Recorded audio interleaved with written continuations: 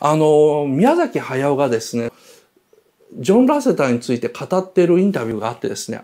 まあ、彼は本当にいい友達ですとか親友ですとかって言うんですけども、ジョン・ラセター自身の何がいいのかっていうのを宮崎駿ほとんど言ってないんですね。で、ただ、その NHK の番組で宮崎駿がカメラの前ではっきり言ったのは、あんまり僕は語りたくないので、これしか言いませんっていうふうに言いながらですね、このトイストーリーの監督ジョン・ラセターが優れてる点はもうただ一点だと。何かというと、父親として恥ずかしくないものを作ると。父親として子供に見せられない恥ずかしいものは絶対に作らない。そうではなくて、自分が作る限り父親として恥ずかしくないものを作ると。というふうに宮崎駿言ってるんですね。で続けて宮崎駿は、だから、なんだろうな、あの、いじけたものとか、悩んだものを作るのは簡単なんですよ。そんなことは誰でもできると。そうじゃなくて、父親として恥ずかしくないものを作りながら、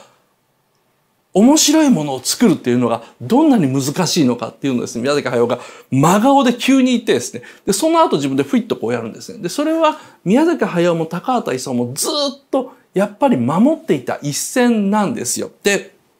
やっぱそれはね、あの、宮崎駿が庵野秀明をすごい可愛がりながら、クリエイターとしてはですね、尊敬していない部分なんですね。あの、エヴァンゲリオン昔からですね、あのもの見てませんっていうふうに宮崎駿言うんですけど、まあ多分本当は見てるんですけどもですね、何なのかっていうとですね、その、ジョン・ラセターを声優には使わないんですよ。宮崎駿はジョン・ラセターを監督として評価して、クリエイターとして自分でと同格だと思ってるから、高畑勲やジョン・ラセターは自分の作品の中に部品として入れないんですね。しかし、庵野秀明は可愛がってるんだけども、部品扱いできるんですよ。あの、スタッフとして使えるし、この部分の作画やってくれというふうに言えるし、声優をやってくれっていうふうに言えるのは何かっていうと、同格じゃないと思ってですね。それは何かっていうと、もう本当にジョン・ラセターに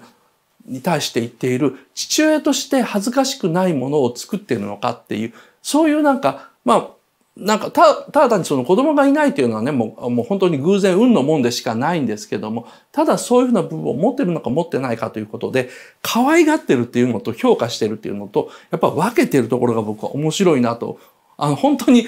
はっきりと、あの、インタビューでそのジョン・ラセタを褒めるときに言ってたのが面白かったんですけども、